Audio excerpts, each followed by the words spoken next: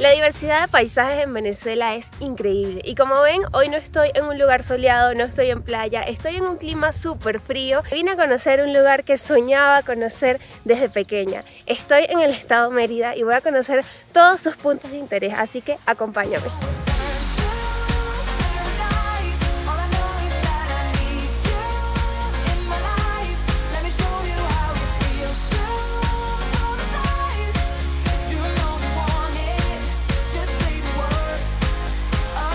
Hello bellezas, bienvenidos sean todos a un nuevo video de mi canal. Mi nombre es Michelle Tielen y hoy me van a ver un poquito diferente porque no estoy con ropa playera ni tropical. Estoy bastante abrigada porque hoy vine a conocer un lugar que toda mi vida había soñado venir. Estoy en el estado Mérida y no estoy sola porque estoy con mis hermanas que por fin pudimos planificar este viaje para acá. Siempre habíamos querido conocerlo, no solamente yo, todas habíamos querido venir hacia el estado Mérida para conocer sus sitios icónicos y todos sus sitios de interés turístico. De hecho, es la primera vez de las tres acá en Mérida. Nos venimos bien abrigaditas, yo toda vestida de cuero.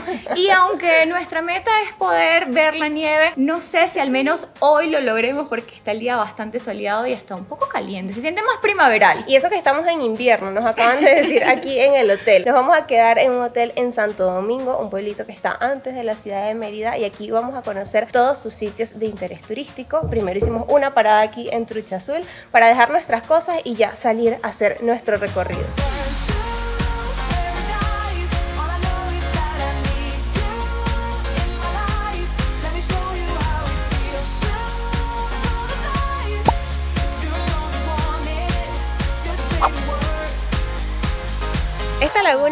Primeros sitios que te vas a conseguir en la vía de Santo Domingo y Ciudad de Mérida. Es algo que está justo al lado de la carretera, no tienes que dejar el carro en la vía y venirte caminando porque tiene un camino especial para que los carros lleguen hasta aquí, hasta el muelle y te bajes a unos pocos metros de la laguna. Es algo increíble que no puedes dejar de visitar si vienes a Mérida.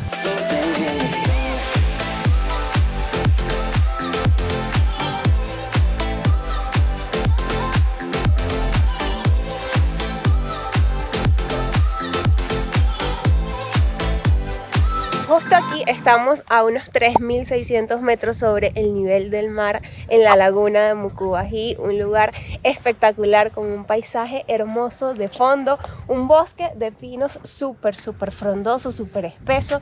¿Qué te ha parecido, Cam? Y con mucho frío también. de verdad. Me pareció muy lindo el paisaje. Demasiado frío. Estoy, ya me siento como en ambiente de que estamos en Mérida porque tengo hasta los pómulos como congelados. Tengo la nariz fría.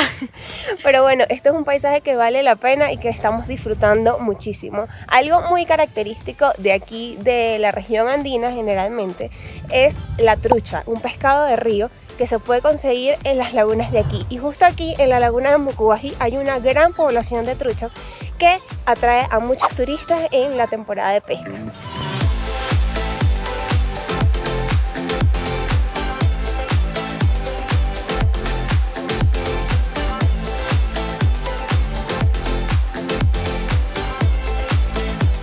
De las cosas interesantísimas que tiene el estado Mérida es que para ir a Ciudad de Mérida haces varias paradas en el pueblo de Santo Domingo y estas paradas con la naturaleza y sus atractivos te dejan con la boca abierta y es algo que no les puedo negar porque apenas es nuestra primera parada y yo ya estoy suspirando con la preciosura de este paisaje en la laguna de Mucubají. Esta laguna es de los puntos más atractivos cuando vienes al estado Mérida donde sin duda tienes que hacer una parada. Ahorita comenzó a pegar el frío y ahora sí nos sentimos en Mérida.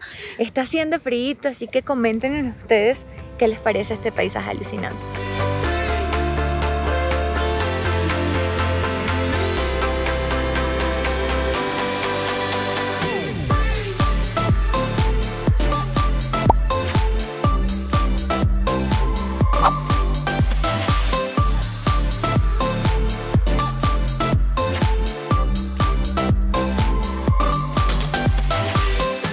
Escuchen, llegué a un pueblito que se llama Apartaderos, que es un lugar muy característico también de aquí. Está a muy pocos minutos de la laguna de Mucubají. Y justo aquí abajo van a ver muchos negocios que si ustedes no se vinieron completamente abrigados, no trajeron lo suficiente para resistir el frío, aquí tienen muchos negocios con los que van a poder comprar los gorritos, los guantes, incluso chaquetas y los ponchos que son los que ellos se ponen. Es como el típico de acá para resistir el frío. Miren qué lindo, esto está como súper pintoresco. Aquí en Apartaderos hay otros monumentos, hay otras cosas que visitar, así que vamos hacia allá.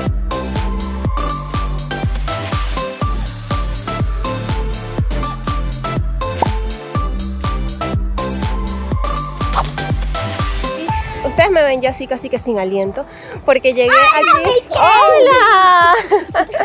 ¡Qué lindo! Saluden a la cámara. Hola. ¿Cómo están? ¿Cómo se llaman? Hani. ¿Y tú? Yuriana. ¿Y tú? Hani. ¡Qué linda! Miren, aquí estamos en el monumento de la loca Luz Caraballo y esto siempre está lleno de niños porque ellos se encargan de recitar el poema. Este pueblito es tan pintoresco que inspira poemas como el de la loca Luz Caraballo y como el de las cinco águilas blancas. Aquí ellos se encargan de darte toda la explicación, de contarte toda la historia y me parece algo increíble que venga de la mano de niños tan lindos. El hambre lleva en tus cachos, algodón de tus corderos, tu ilusión cuenta sombreros. Mientras tú cuentas muchachos, una hembra y cuatro machos, su vida baja de brinco. Mientras tú pides tu ahínco, frailejón, para olvidarte, la angustia te reparte. Un, dos, tres, cuatro y cinco. La gran historia de ella quiere decir que ella fue una señora que se volvió loca por sus hijos. ¿Por qué? Porque ella tenía cinco hijos, cuatro varones y una hembra. Ustedes se van a preguntar que por qué la loca Luz Caraballo estaba señalando hacia allá porque le dijeron los españoles y le preguntaron a la loca que por dónde se iba a ir Simón Bolívar con sus dos hijos. Ella le señaló que por allá y no fue exactamente por allá. ¡Fue por esta carretera abajo! Ella le admitió para salvar la vida de Simón Bolívar y sus dos hijos. ¡Ya, ya, la mula! ¡Se la mula! Así como pudieron escuchar con los niños cantando, este monumento es en honor a una señora que perdió la razón porque perdió a sus cinco hijos. Esta es una leyenda que no se sabe si es realidad, si realmente pasó, pero es muy, muy típico de acá visitar en el pueblo de Aparcaderos el monumento de la loca Luz Caraballo.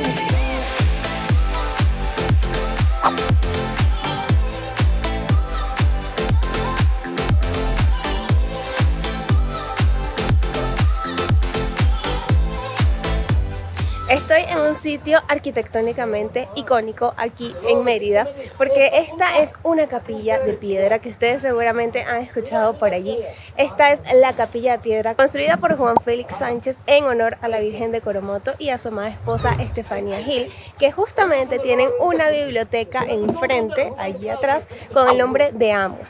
Esta capilla la construyó él solamente con piedras, con corales y con cemento. Y es algo increíble porque era un señor que nació aquí, vivió aquí y no tenía ninguna noción de la arquitectura y construyó esto con sus propias manos. Ellos decidieron que sus restos descansaran acá y así fue, están los dos acá y en la parte de atrás está su casa que actualmente es un museo que recomiendan mucho visitar. Fíjense lo increíble que es que este señor que construyó esta capilla solamente llegó creo que hasta sexto grado, que no tenía ninguna noción de arquitectura y logró edificar esta capilla solo con piedras, que además se caracteriza por tener arcos de medio punto. En arquitectura, estos arcos se desarrollaron en la época romana y están diseñados para que caigan sobre su propio peso. Es increíble que alguien que no, tuviera, que no tuviera noción sobre la construcción pudiera hacer esto tan increíble, tan hermoso y que se mantuviera en el tiempo como la capilla de piedra.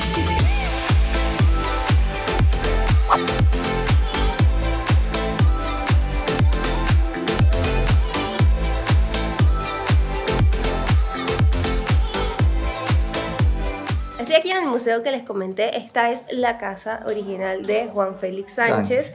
Y esto está intacto, está súper bonito. Y ustedes pueden venir para acá, conocerlo y dejan una colaboración al museo. Acá el Señor Jesús estaba mostrándome unos carritos que hacen aquí que están súper lindos. Tejido y además ustedes pueden, ellos se los prestan para que ustedes se tomen fotos y bueno, si ustedes se los quieren llevar, también pueden hacerlo.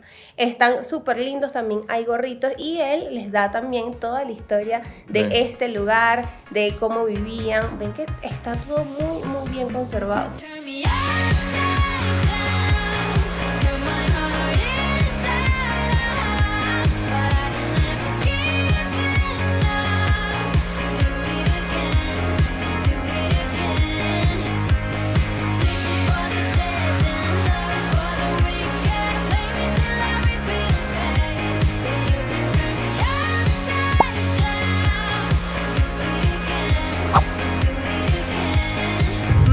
4.000 metros es la altura máxima en carretera en Venezuela y ahora yo me encuentro en este lugar. Estoy en el Pico del Águila, un lugar emblemático, un lugar espectacular y es increíble cómo la neblina te va cubriendo de todo. Yo menos mal que me traje mi gorrito y mis guantes que me compré allá abajo porque son muy muy necesarios aquí. Generalmente dicen que en las épocas de invierno hay ciertos días en los que cae nieve. Hoy vinimos hasta acá, no veo nieve, pero de verdad que el frío está bastante fuerte. Debemos estar como a unos 8 grados más o menos, así que si ya saben que si van a venir por acá tienen que traerse sus protecciones, guantes, gorritos y chaquetas.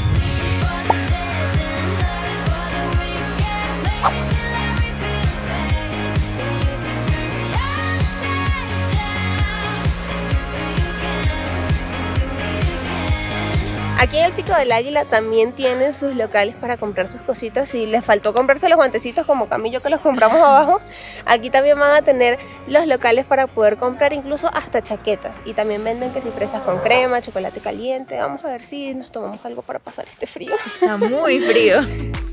Después de visitar el punto más alto en carretera del país, regresamos al hotel que nos recibió en esta oportunidad, el punto de partida donde iniciamos este video, La Trucha Azul, un lugar hermoso y acogedor ubicado en el pueblito de Santo Domingo, con una vista panorámica de las montañas características de este lugar. El hotel cuenta con muchos espacios hermosos, desde el jardín principal con su laguna donde se pueden pescar truchas, hasta los lugares cerrados como la disco, el restaurante y los salones de estar y relajación. Pero mejor vamos a conocerlos con mucho más detalle.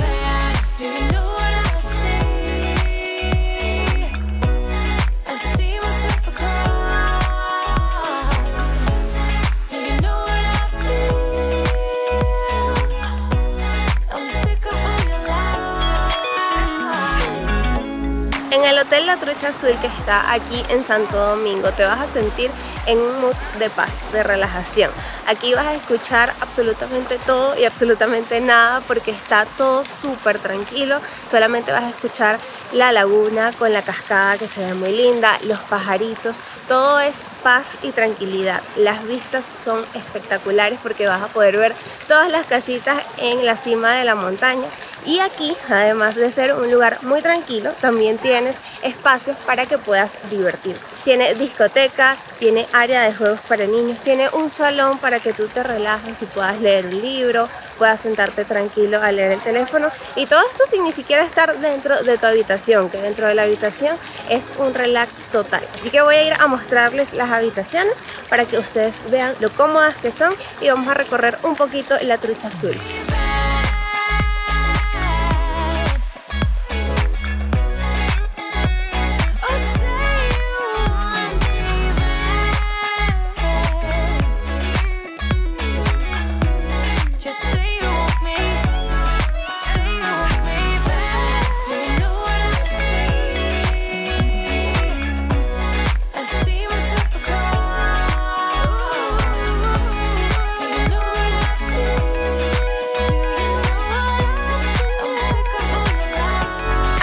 Llama mucho la atención de este hotel es que la arquitectura y los espacios verdes supieron integrar perfectamente. Tú no sientes un choque o un contraste muy marcado cuando sales de las habitaciones y cuando llegas aquí a los jardines. Es algo que se complementa, es algo muy lindo.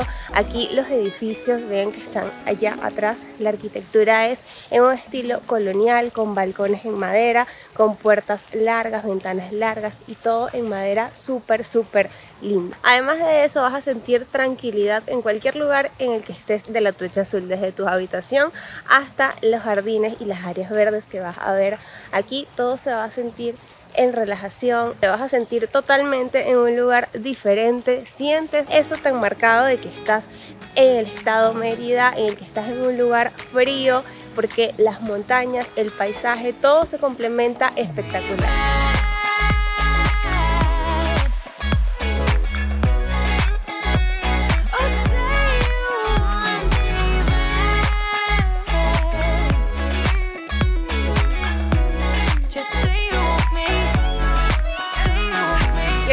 Aquí en la trucha azul todo es relajación, todo es escuchar el sonido de la naturaleza, el sonido de los pajaritos. Y ellos aquí cerca de la laguna tienen unas mesitas súper lindas que son ideales para sentarte aquí y literalmente relajarte, estar tranquilo, disfrutando de toda la vista. Aquí nos dejaron una botella de vino con unas copitas para que nos sentemos un ratico a disfrutar del resto de la tarde con esta vista, con esta tranquilidad que caracteriza a Santo Domingo y a la trucha.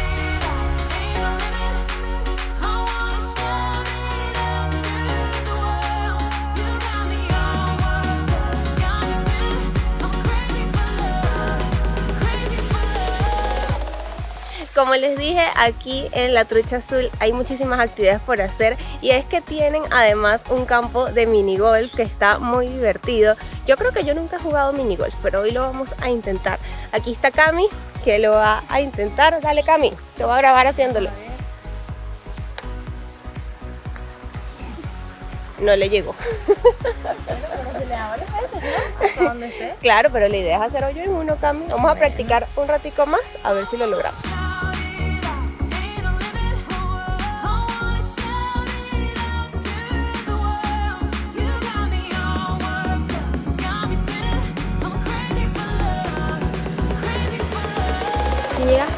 Punto del video, espero que te lo hayas disfrutado tanto como yo. Hasta aquí llega el video de hoy, pero esta aventura no termina aquí.